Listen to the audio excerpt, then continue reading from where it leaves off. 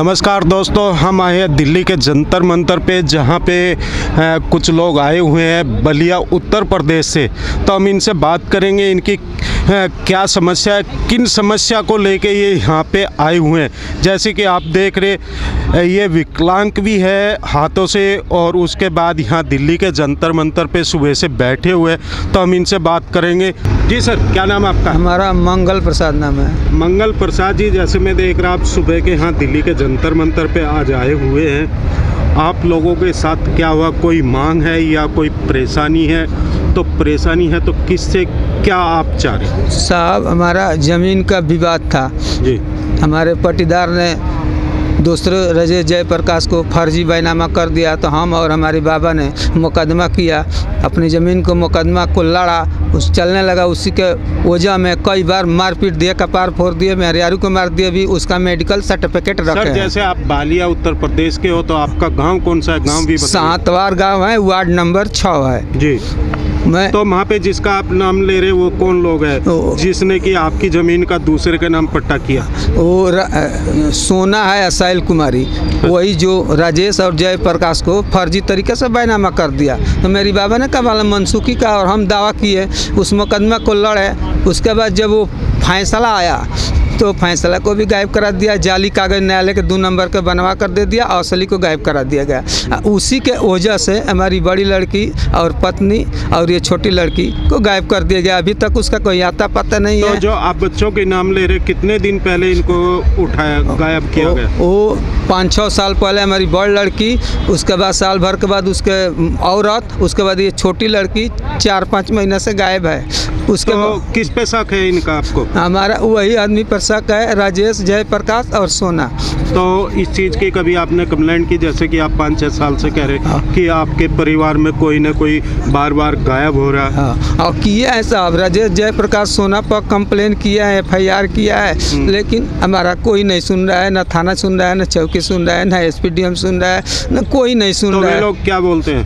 हाँ ये लोग बोल रहे हैं कि थाने में जाओ जाओ भागो एस के जा रहे जाओ जाओ तुम्हारा मुकदमा लिखा गया। यानी कि एक आप गरीब लोग हो तो आपकी कोई सुनवाई पे नहीं हो रही प्रशासन वहाँ तरफ़ से। प्रशासन की वो गाँव में भी कहीं कोई नहीं सुन रहा न कोई मेरी मदद कर रहा है तो गाँव के जो सरपंच या प्रधान कहे हम वो कौन लोग हैं वो क्या बोलते हैं उनके पास गए होता तो वो गए तो बोले हैं जाओ ये करवा देते हैं वो करवा देते हैं वो कुछ नहीं करते हैं हम्म।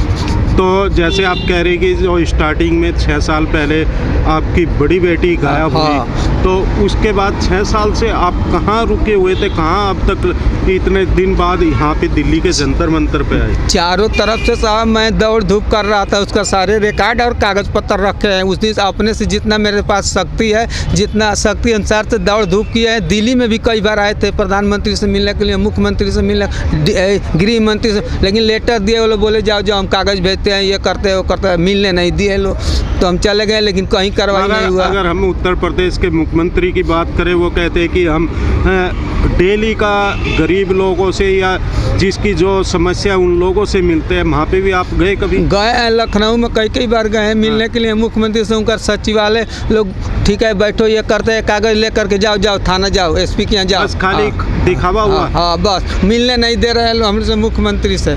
कई बार प्रयास किया मिलने के लिए ए, थे गोरखपुर में भी गए थे जनता दरबार में वहाँ भी वो चले गए जोगी साहब तो कोई से नहीं मिलने देंगे बस चले आए। अच्छा अपने तो आपकी ज़मीन कितनी थी जिसके ऊपर ये हुआ वो ज़मीन हमारा 18 फुट चौड़ा और 35 फुट लंबा दो ताला बिल्डिंग है पुराना बाप दादा का बनाई हुई। उसमें से एक कमरा जो है राजे सोना और शैल कुमारी राजेश जयप्रकाश को बेच दिया एक कमरा। ये कौन है? ये कौन लोग कोई? शैल गाँव का है हमारा पट्टीदार है शैल कुमारी सोना। और जो बेचा है वो चौरसिया है राजेश जयप्रकाश। तो वो जो ये पैसे वाले लोग है? पैसे वाले लोग है साहब इसके पीछे कोई बड़ा आदमी है तभी तो इस तरह में सताया जा रहा है। क्या आपकी प्रॉपर्टी की कीमत क्या होगी? लमसम तीस चालीस लाख का प्रॉपर्टी का कीमत है। इसीलिए ये सब कुछ हो रहा है? हाँ इसीलिए सब लूटने को चक्कर में ऐसे ऐसे सब तो कर अभी जो मैं देख रहा आपके साथ दो और बच्चे हैं। हाँ। ये कौन है? ये मेरा लड़का है दोनों। अच्छा। तो ये क्या करते?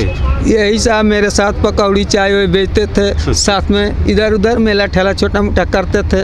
उसके बाद ये सब नहीं रहता तो किसी का मजदूरी करते थे। यानी दाढ़ी मजदूरी हाँ करके वही हाँ कर गुजारा लेकिन साहब इनको पढ़ाई लिखाई नहीं है इसी ज़मीन के वजह से केवल इनको पोसे हैं इसलिए कि किस से मैं परेशान और बर्बाद हो चुका हूँ। तो अभी आप यहाँ दिल्ली के जंतर मंतर पर आए, किसको ज्ञापन देंगे और क्या उम्मीद करके यहाँ पे आ जाए अब यहाँ आए कि गृह मंत्री को ज्ञापन देंगे, प्रधानमंत्री को ज्ञापन देंगे। हम, हमको वो बुलाएँगे या हमसे मिलेंगे, हमारा कागज़ पत्र देखेंगे तो हमको न्याय दिलवाएँगे। अगर न्याय नहीं दिलवाएँगे तो अभी इस तरह घुटुक घुटुक कर मैं कब तक जीता रहूँगा, अभी यहीं पर मर जाऊँगा। यानी कि आपका लास्ट निर्णय है या तो आपको न्याय मिले मिले तो और हम मर- जाएँगे। हम अब कहीं नहीं जाएँगे दौड़ते तो दौड़ते तो आपके बच्चों की किसी की शादी हुई हुई है? कौनों नहीं हुई है। अच्छा तो जैसे मैं ये फ़ोटो देख रहा आपके ये फ़ोटो में कौन कौन है? हाँ ये मेरी बड़ी लड़की है ये मेरी औरत है जी।